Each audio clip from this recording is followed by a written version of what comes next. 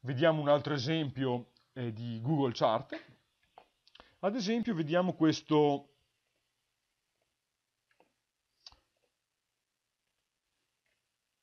vediamo una, un, una, cosa abbastanza diversa, ad esempio le geochart. Okay? Le geochart permettono di, di, visualizzare delle mappe, ad esempio di questo tipo sull'Italia, in cui posso visualizzare diciamo, diversi punti con determinati valori. Quindi in questo caso avevamo un certo valore che eh, c'entrava con la popolazione e un altro che c'entrava con eh, eh l'area appunto del cerchio stesso. Anche in questo caso è tutto abbastanza semplice. Posso, eh, posso utilizzare lo stesso esempio stavamo, su cui stavamo lavorando, cioè il, eh, avevo creato un progetto Maven, Google App Engine, eh, Google Chart, appunto, e ehm, qui c'era il file index.html che era quello che abbiamo fatto precedentemente che faceva le area chart, creiamo un altro file, eh, lo chiamo, vabbè, un file che chiamo eh, geo1html, dove appunto mm, diciamo potremmo fare un'operazione un di questo genere. Copiamo il, il codice di index HTML, dove già eh, beh, no. Copiamo direttamente l'esempio da, copiamo l'esempio da Google Chart.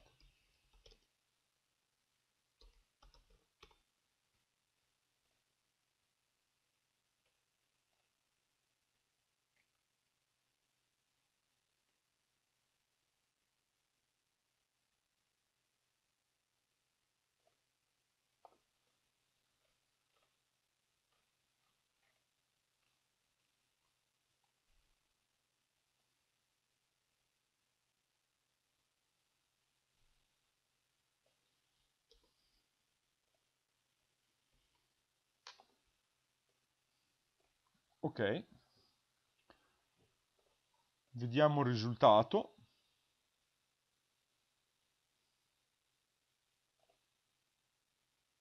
Okay. e viene questo appunto disegno dell'Italia con i vari eh, pallini eh, che rappresentano diverse città. Ok? Quindi in particolare lo schema è sempre quello. Ho nel body un elemento div che viene agganciato in questo punto qui prima di disegnare il grafico, ho sempre i miei dati in forma di matrice fondamentalmente, chiamo la funzione draw eh, makers map con delle opzioni, region it vuol dire regione italiana e i colori sono appunto vanno dal verde al blu per selezionare diverse cose. Anche in questo caso possiamo intervenire con eh, jQuery e ad esempio eh, gestire un, um, una, una funzione che a ogni clic del mouse aggiunge un pallino alla mappa. Quindi anziché visualizzare tutti questi pallini contemporaneamente, voglio visualizzare un pallino per volta ad ogni clic eh, che faccio di un pulsante che metto nella mappa.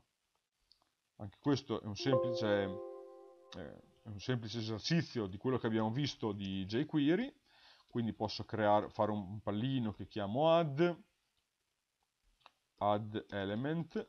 Anche in questo caso ge potremmo generare dei valori casuali per, eh, per evitarci cioè, insomma, in modo molto semplice ok?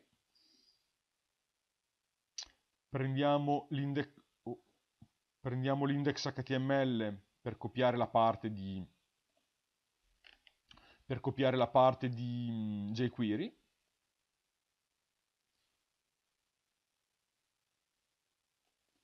ok quindi copiamo questa riga qui. Di jQuery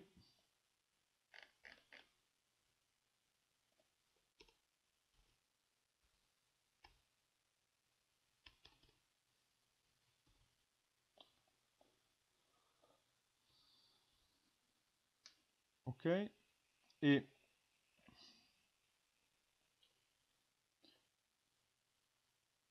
qua posso direttamente copiare tutto questo eh, pezzo qui tanto è sempre uguale.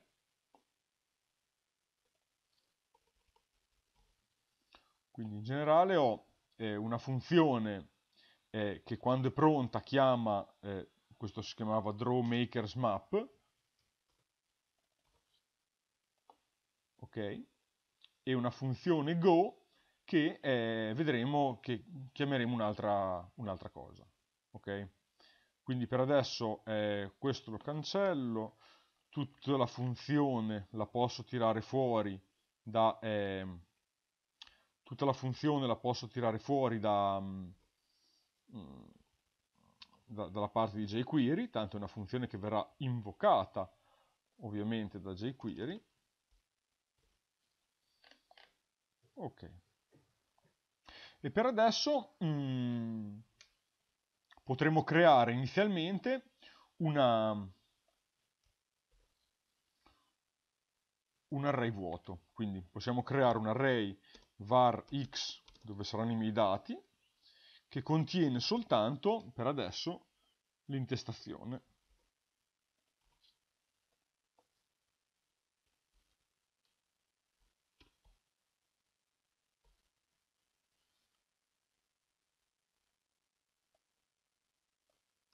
Qui ci metteremo x, quindi visualizziamo x con queste opzioni quando creo la funzione.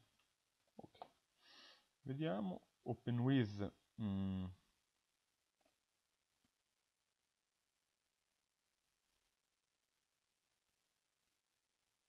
Qua dice incompatible data table, error, table contains more column than expected.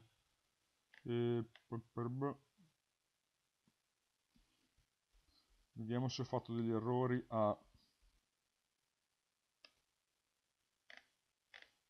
a fare queste operazioni qui.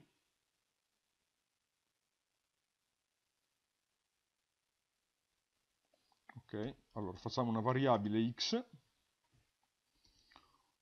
uguale a fondamentalmente vorrei prendere questo pezzo qui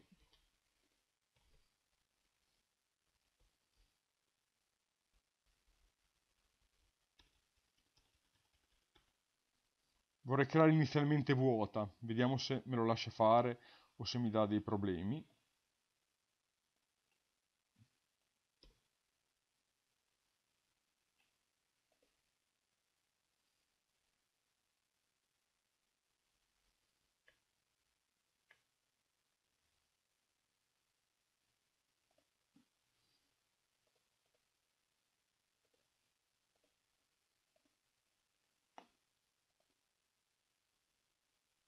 Ok, vediamo se il problema, intanto aggiungiamocene uno eh, di base e vediamo se mh, mm, questo è il problema. Facciamo rom 100 100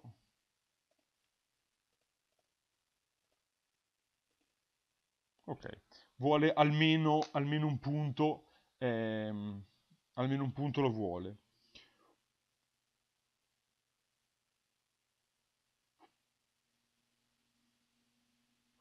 Vediamo se posso... Mm,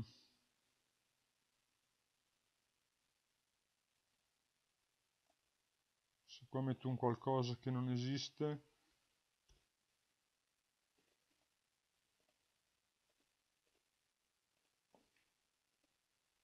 Ok.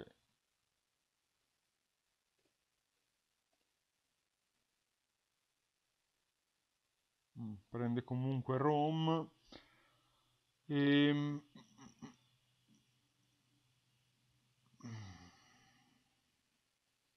se qua faccio una cosa del genere, peggio che peggio, immagino.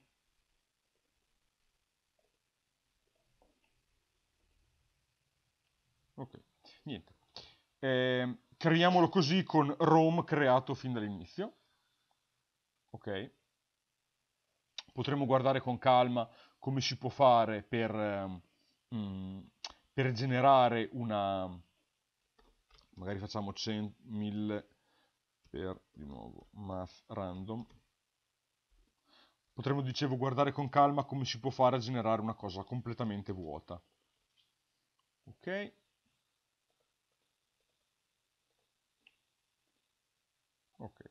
Abbiamo generato il primo, il primo punto, okay. e adesso vogliamo gestire questo add element, quindi mh, mm, quando premo sul pulsante add, chiamerò una funzione che mm, lo posso chiamare add element, ok,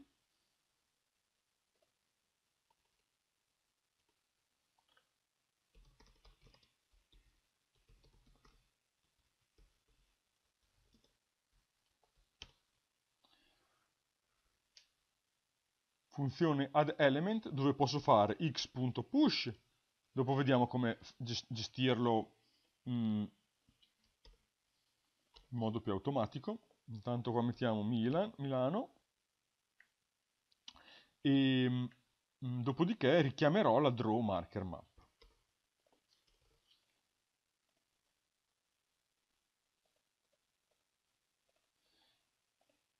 Il risultato è che quando faccio add element Rome mi è, mi è comparso appunto Milano, eh, mi è comparso Milano.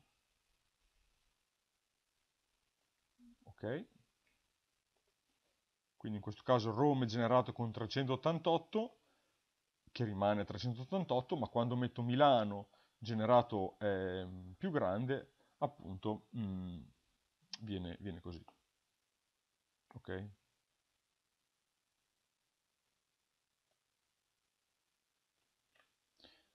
A questo punto chiaramente avete già capito, posso creare un array eh, statico inizialmente con le diverse città, city, uguale a quadra, ci mettiamo ad esempio appunto eh, Milan, eh, Reggio Emilia, Modena, Napoli. E basta, un contatore var i uguale a 0, ogni volta aggiungerò city i e farò un i più più. A questo punto, quando visualizzo mm, questa applicazione, aggiungiamo Milano, aggiungiamo Reggio, Modena è lì vicino, Napoli e via così posso aggiungere tutti i vari elementi alla mia, eh, alla mia grafico, diciamo, geochart. Ovviamente tutte queste cose qui le abbiamo fatte in un progetto, eh, in un progetto Maven, quindi in un progetto Maven con Google App Engine, quindi a questo punto adesso potrei fare il run di, ad esempio in DevApp Server,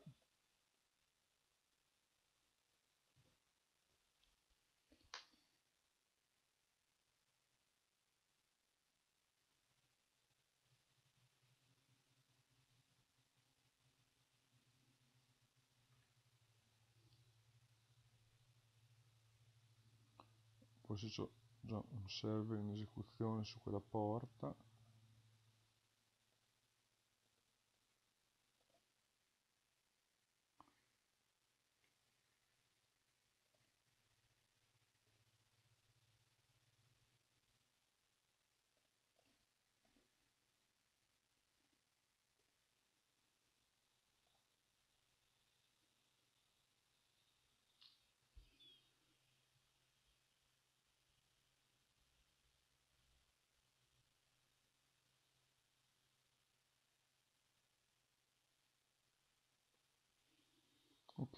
continuo a dare questo errore vedete? Could not open the requested socket.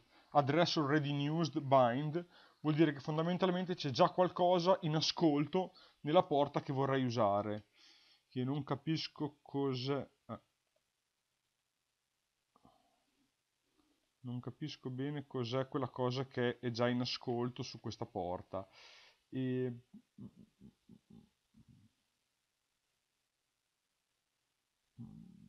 provo a chiudere Eclipse e riaprirlo.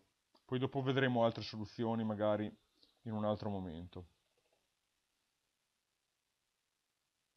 O se questa non funziona.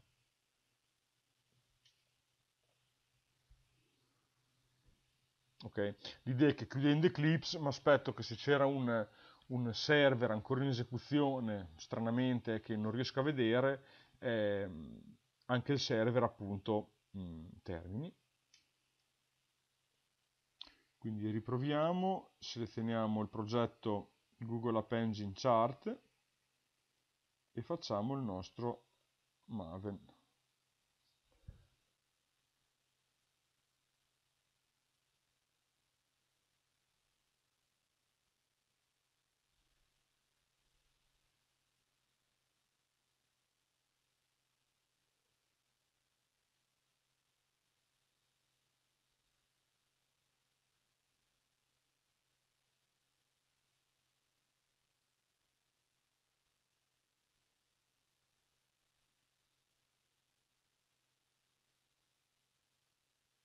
Ok adesso è andato. Chissà cosa aveva precedentemente. Forse devo stopparlo di la verità.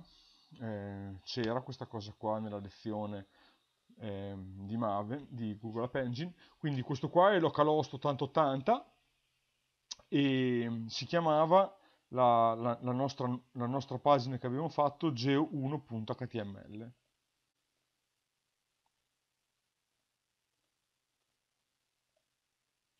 così vediamo un'altra cosa. G1.html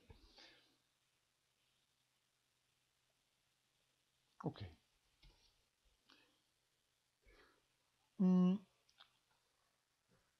qua da un errore ok? E l'errore è questo qua. Dice Google Map API error missing key map error questo è, è, purtroppo è un errore un po' particolare, nel senso che fino a poco tempo fa eh, non lo dava. Okay? Fondamentalmente per alcuni tipi di mappe, in particolare tutte le mappe che coinvolgono eh, i servizi geografici, Google vuole che registriamo una chiave, diciamo, ehm, associata alla nostra applicazione, in modo da, da sapere fondamentalmente a quale applicazione eh, facciamo riferimento. Per farlo quindi dobbiamo fondamentalmente mh, mm, ok, eh, clicco qua, clicco qua sull'errore, mi dice no API key e posso cliccare su questo obtaining an API key. Qua metterò mh,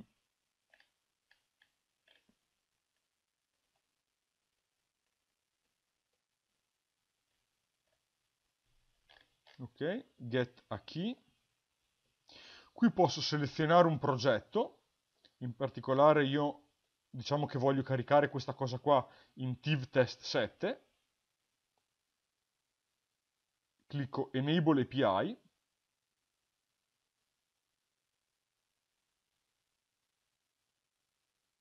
E lui mi ha generato questa chiave che posso copiare. Ehm, questa chiave che userò all'interno del mio codice. Vediamo come.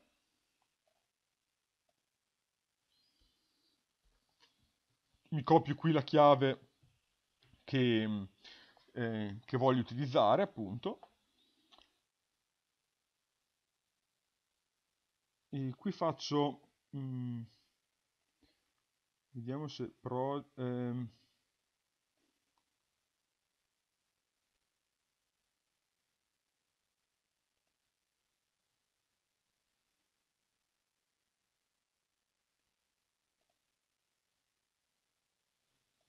Vabbè, adesso questo qua lo verifichiamo. Comunque, mm, andiamo avanti. Qua ho chiuso l'applicazione.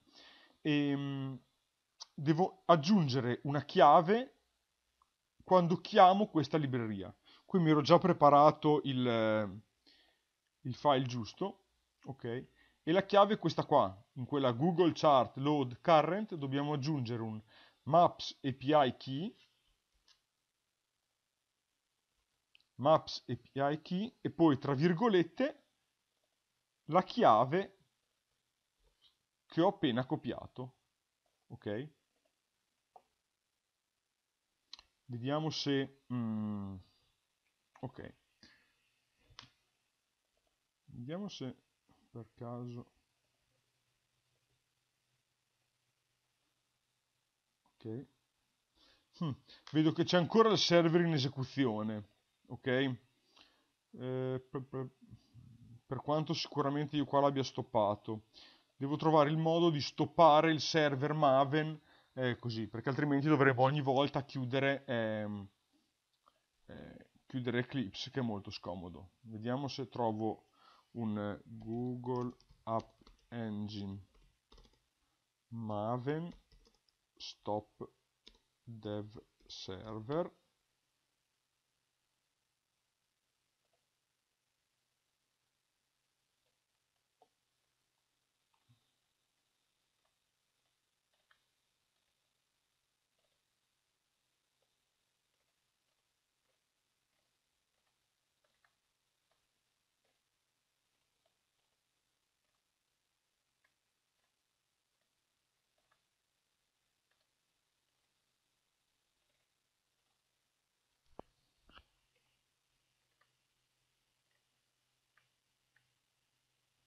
ok c'è questo sembra questo goal qui dev server stop che dovrebbe mh, mm, stoppare il web server. Vediamo se funziona. Mh, mm, posso creare un nuovo ehm, run run configuration.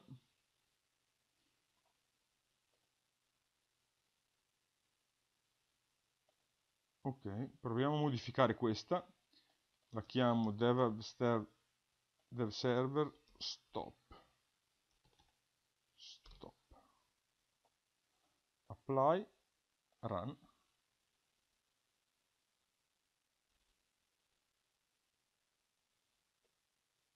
Ok sembra essere eseguita dovrei aver spento il, il dev server. E qui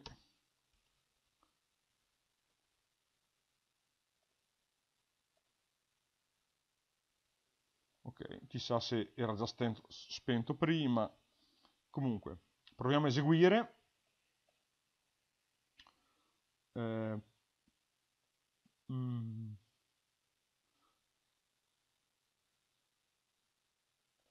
seleziono il progetto. Run, run configuration dev server run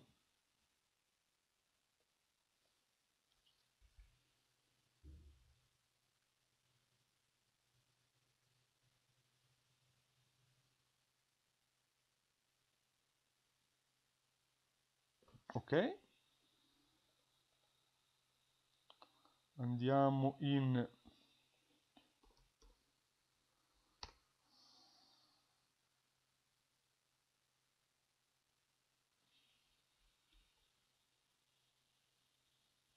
mm, mi dà di nuovo quel problema sulla chiave. Possibile che non abbia salvato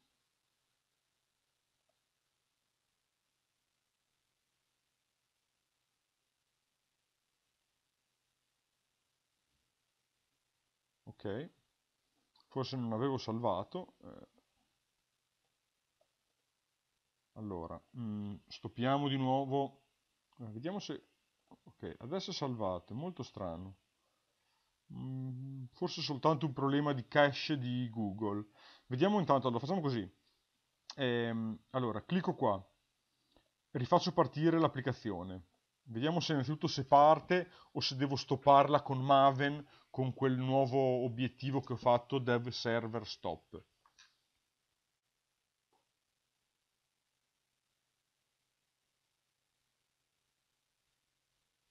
Ok, allora l'applicazione è partita, quindi forse quel dev server stop non serve a niente, era solo stato bloccato così. Qui ricarico la pagina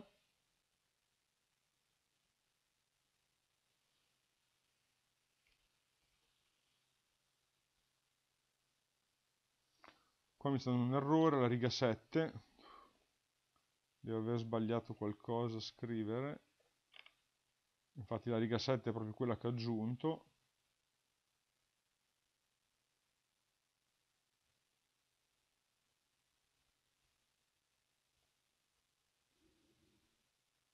Ok sicuramente qui ho sbagliato. Qua ho aggiunto un apice che non ci andava.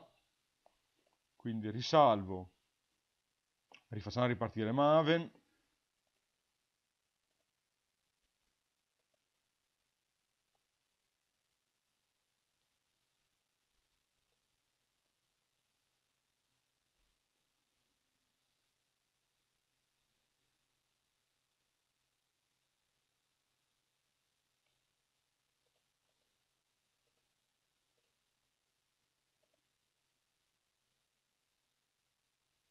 ok ci dovremmo essere. Qua adesso sono in localhost eh, dei tali e con eh, gli add riesco ad aggiungere finalmente i vari pulsanti i vari placemark che, ehm, che avevo indicato. Abbiamo finalmente risolto i vari errori che, mh, mm, che avevamo ok